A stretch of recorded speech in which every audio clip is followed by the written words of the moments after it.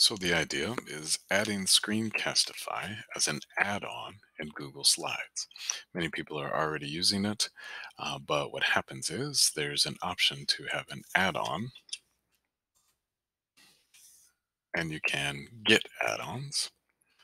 If you choose to type in Screencastify, searches for, and here you would see get or add.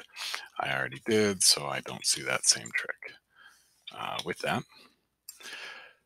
And afterwards, you click on add-ons and choose to go to Screencastify. It actually shows your videos off to the side here so that the videos that you've taken, the videos you've done would pull up on the right side and allow you to drag, drop, and add in uh, fairly quickly with that. So Screencastify add-on in Google Slides.